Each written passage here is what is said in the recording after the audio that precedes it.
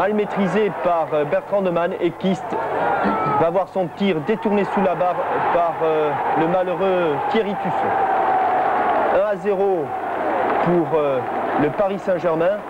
Mais Nantes va obtenir son légalisation par un joueur qui venait de pénétrer sur la pelouse. Le petit avant-centre Fabrice Picot Maxime Bossis euh, au départ de l'action.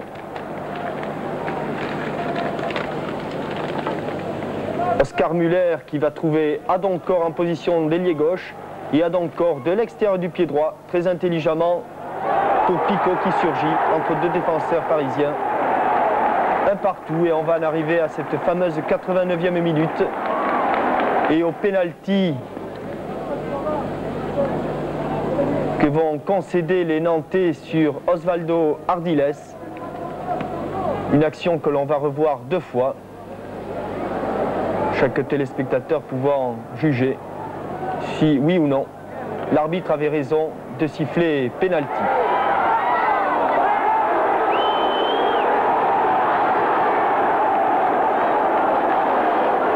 Il semble en tout cas que les Nantais soient bien malheureux sur cette action le, nom du joueur, justement, peut influencer un peu l'arbitre Si c'est sur un joueur moins connu que Ardiles Non, peut-être pas, mais euh, Ardiles plonge bien dans la surface de réparation. Question d'expérience. Et Dominique Batunet aucune ne laisse aucune chance à Bertrand Deman. 2 à 1 pour le Paris Saint-Germain, première défaite pour les Nantais. Alors que quelques explications entre Toko